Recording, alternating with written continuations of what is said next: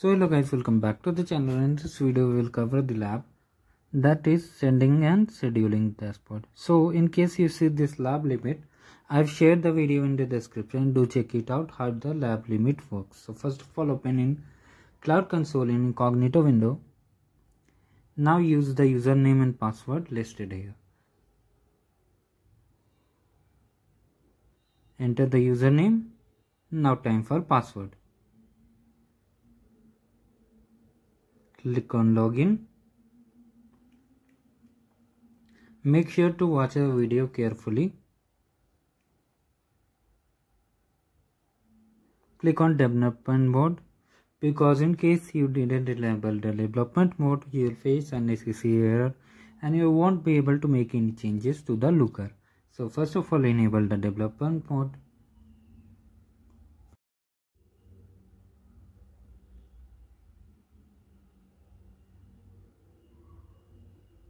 Now click on explore.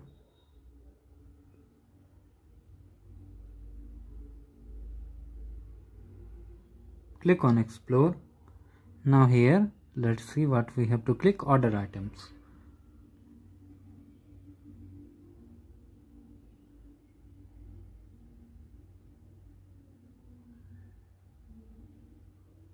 Now under users we have to select the city so let's see. Search the users on the search bar. Just copy or you can manually type to as you can see city click on this. Now we have to search the another one. That is count which will be present inside users only. Click on users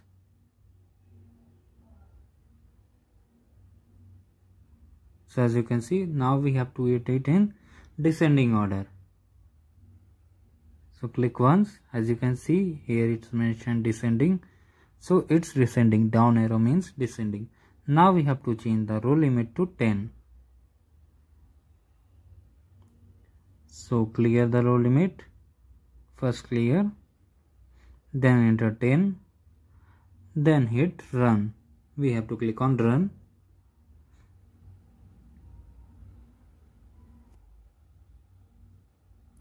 now as you can see the finally the output is here. Now click on check my progress. So guys lab takes time to update the score so you may face error here. So don't need to worry. Keep on hitting check my progress. You'll get a score without any issue. Wait for some time and hit again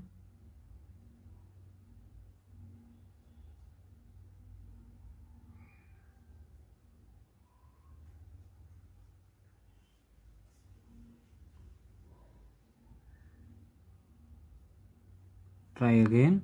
Then we will move to the second task.